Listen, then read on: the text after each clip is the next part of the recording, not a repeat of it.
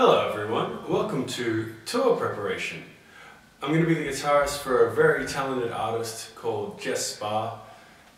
She's from Australia, I'm also from Australia. Um, and we haven't had that much time to really talk about how the songs are going to be interpreted. Um, main reason being uh, is that she lives in Sydney and I live in Finland. So uh, despite the wonders of uh, technology and the internet, it's still pretty difficult to line those time zones up. So uh, I guess we'll see how it goes. Well, what am I going to do? I've got to figure out how I'm going to interpret these songs. Uh, you know, I mean, the obvious thing is to just play the part.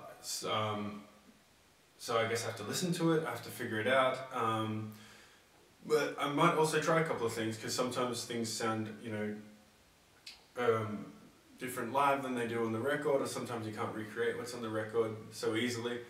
Um, also, I'm not the guitarist that originally recorded this music either, so I have to interpret someone else's style, um, which is a great challenge and I can't wait to do it. So, without further ado, let's get into it.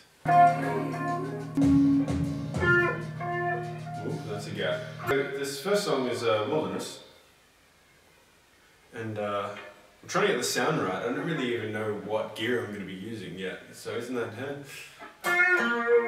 But this sound seems okay so far.